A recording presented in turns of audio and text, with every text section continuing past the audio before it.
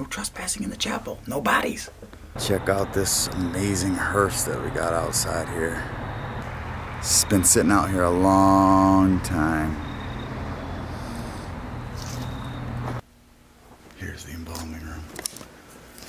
Stainless steel base. You got the black trim going around it. It's almost like aluminum. Neck holder, neck restraint. And there's the drain down there. There's even like cobwebs hanging off this thing. Look at this old gurney too. It's all stainless steel.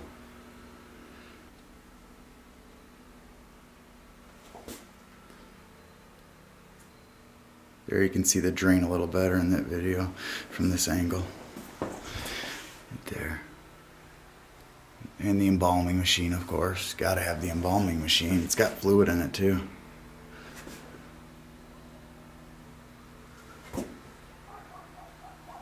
You can hear the neighbors out there and the dog barking. You can actually see vine growing through the open window here. Over here you have some makeup for the deceased. Get the bodies prepped for the funerals. You gotta love the creepy foam heads and faces. And down here you have some artery fluid, embalming fluid.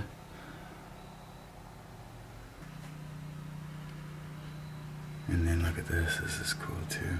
Name of deceased, date of embalming, time embalming began, time embalming ended, and signature of embalmer. Look at that old school needle thing. Embalming records from 86. cool.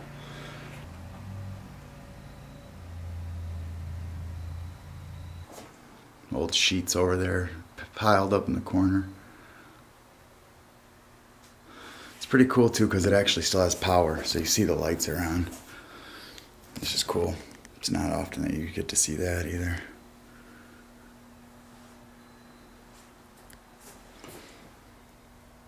That table is super cool. I really love that table because you don't see them often like that. This abandoned funeral home dates back to when it first opened its doors in 1989. The nearly 4,000 square foot funeral home featured a large embalming room, a small visitation room, a cozy little chapel, and of course, the casket display room. The funeral home was quite successful during its years of operation, mainly as it was just one of three funeral homes in the area. It also certainly helped that the owner was a very well known and respected member in the local community, as he was a one time politician and even had fought for civil rights in the early 1960s, most notably right alongside Martin Luther King Jr. And just like his comrade, MLK Jr., the owner of the funeral home was also a reverend as well as the funeral director, which can also be common with the smaller family run funeral homes. Your grays and your blues and your whites and your pinks, pink and whites. Look at that. It looks like most of them have their twins up top. So like this one here is the same as this one down below.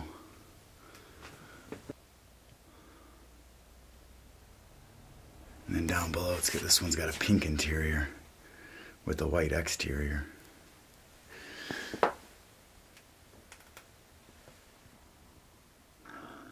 Not too often you get to see this many caskets in a funeral home either.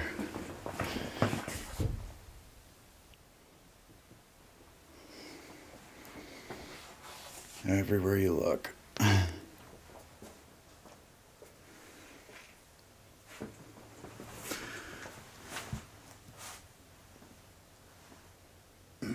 So now we're entering the chapel. Look at how grimy these pews are. And the walls are all moldy. You see the casket up there.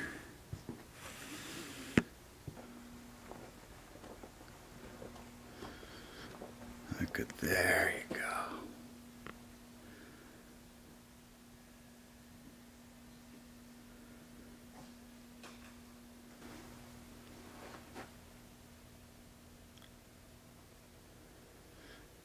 Again, the photos on the wall.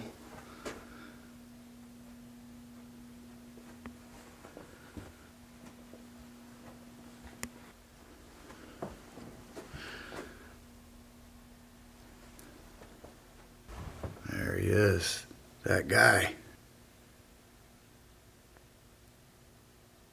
And a good book up there for the funeral services. Wurlitzer.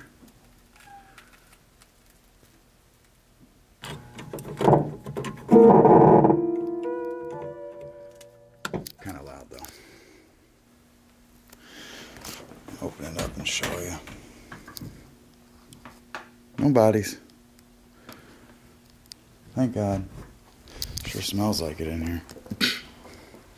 No trespassing in the chapel. No bodies. I showed y'all already. There's definitely no bodies, but it's still cool. So sorry for trespassing in your chapel, but it's a cool location, and I couldn't resist. Check out this amazing hearse that we got outside here. It's an old school Brougham caddy.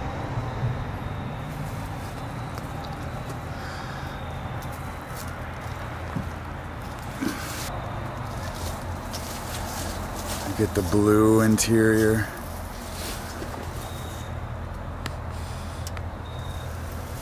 It's decayed.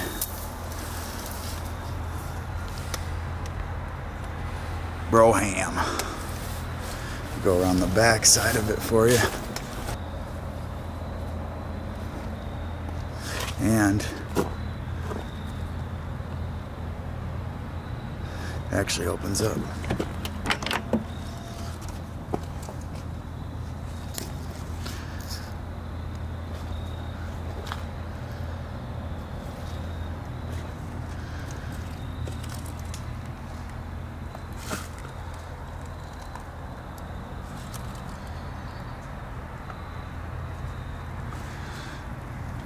Super cool when you can actually see inside of them. It's been sitting out here a long time. It's almost on flats. By 2017, the funeral home had permanently closed and was put up for sale. As of 2022, the one time successful funeral home still sits abandoned in hopes that someone will come along and save it. Well, that will wrap it up for this abandoned funeral home video, but stay tuned because we got more coming. For more photos and other locations, please check out the website at abandonedcentral.com.